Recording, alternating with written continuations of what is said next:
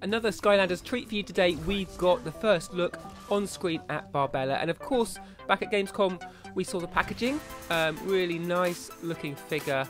Slight shine there, hard to see into some of these boxes, but I think um, in terms of presence um, and power, Barbella certainly is communicating all of that, and nice to see on a female character. So as we walk through this level, take on a couple of enemies, enemies here you can see the start of what is, I think, one of the most powerful weapons I've seen on a Skylander today. These barbells are absolutely magic.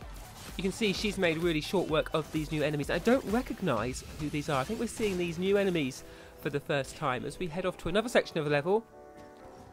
Going to grab ourselves a bit of pretzel, get some more energy on board. Now, I want to see these enemies. Let me have a closer look at them here. How do they attack? So they're waving their uh, arrows around the head and then they put them together to shoot them. And then, what's that guy doing there? He's pulled an arrow out of his house. Let's rewind that. Can see he reaches inside and pulls out an arrow which he then intends to shoot at Barbella, but I think we're a bit too quick for him. And it seems like they can jump across from the ship behind, but I think this guy, whoa, he got completely mashed. Let's rewind that again and have a look. You can see as that crate explodes next to him, he goes flying. So as we press on with some more of our sort of floating ship level, we can see some more of Barbella's powers, um, conjuring a crate there and sending it smacking to those enemies. This guy's got axes. Whoa! I love. Let's have a look at that. I think this is my favourite of Barbella's powers. She holds her barbell sideways, charges them up and raises two hands that clap and completely destroy the enemy. So if we just take a brief pause from the action before looking at another new level, we can see that Barbella here is a Sentinel class, and of course she is of the Earth element. We heard earlier her catchphrase, um, it's crunch time, and I like the look of this character. All the senseis, I think, have got an extra added bit of zing, but the, the attention to detail, the sort of the glimmer in her eyes, and also the sort of sense of presence and muscle strength on a female character I think is really nice to see. Those barbells, of course coming from her Barbella name, um, certainly deal out some damage in the arena and levels. But back to the gameplay and more of these floating island levels. Got the waterfall there, just showering off the side of here, the water wheel going around. Now I think we've got some more puzzle elements here as um, Barbella figures out, oh yeah, of course, if we turn this wheel, we will lower the platform and we can go over collecting the coins as we go.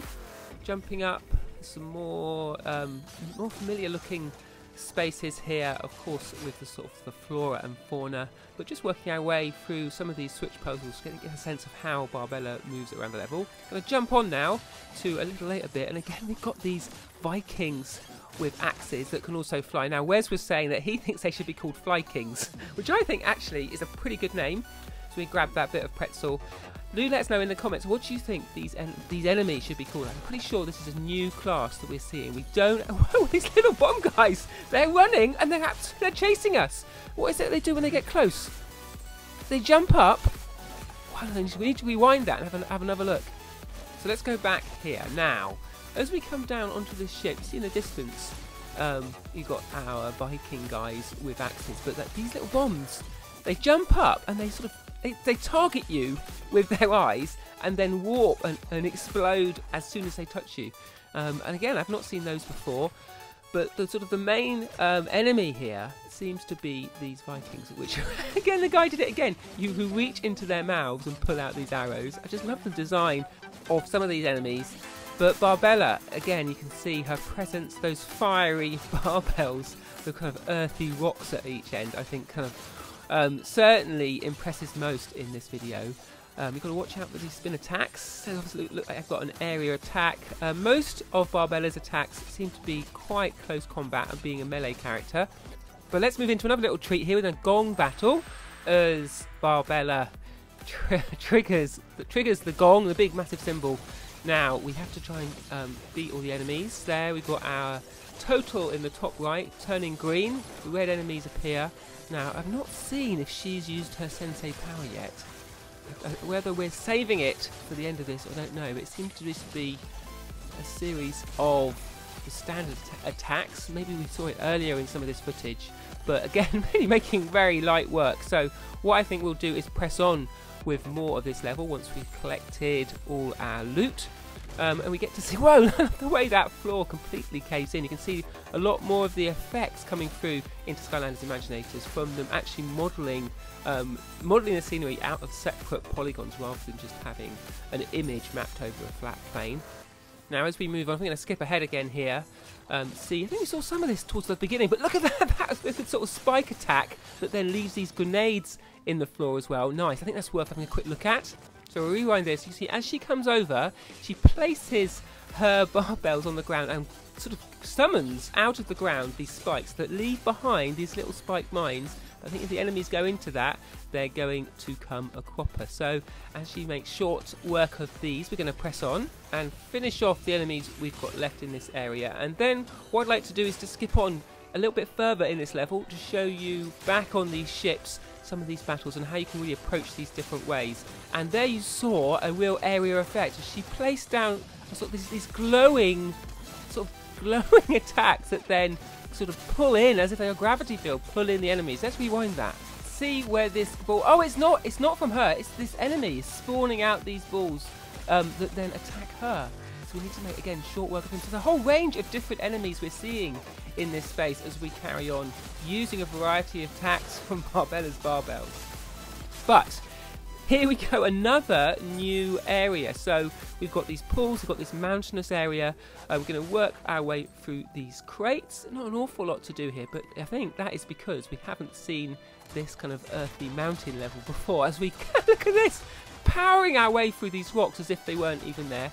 Really nice sort of destructive effects. And I think we've got this ball to roll onto a switch trigger, which we're doing with no problem. Down and that triggers the walkway. We can go on again here. I love the, the sort of sense of corrugated iron, rusted, lots of different sort of textures and colours here as we move on.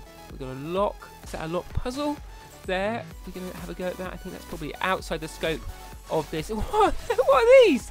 They're like little mushrooms or little sort of toasted, what are they? Toasted hoppy aliens. What? what? And there's this guy with a big shotgun so let's, let's, there's a lot to look at here. Let's let's rewind this. So first up, we get a wave of attacks from these little sort of hopping, hopping aliens. What are they doing? They don't seem particularly effective, but this guy looks a bit more threatening. I feel like I've seen him before. Is he a returning a returning enemy? Uh, again, on these on this footage, it doesn't show you um, what the enemy. Doesn't introduce them to you like it does in the game final. Because obviously this is sort of non-final footage. Um, but we're getting them popping up.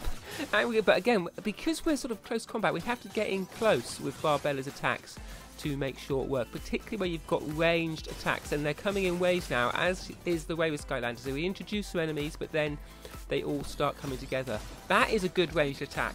That box that you can push gives you some distance from your enemies, um, and these guys I think will be throwing their axes if we're not careful. So we better make short work of them. So when I was just about to just about to finish, and there's this uh, huge axe people at the end. So before I go, we'll do one last treat rewind to see these enemies coming in. Now, what I'd like to know in the comments is what you think each of these enemy characters are called, and of course these areas. I don't think we know what these levels and these worlds, these sub-levels are, um, but certainly I think we're going to see a lot more of the game as we progress through this footage. Now, I hope that's been good a close look at Barbella, both her different attacks, her sensei power, everything that goes into making her what I think will be one of the more popular Skylanders Imaginators Sensei Masters this year. Let us know which characters you're going to be jumping in on in the comments, but for now, that's all we've got time for on Family Gamer TV.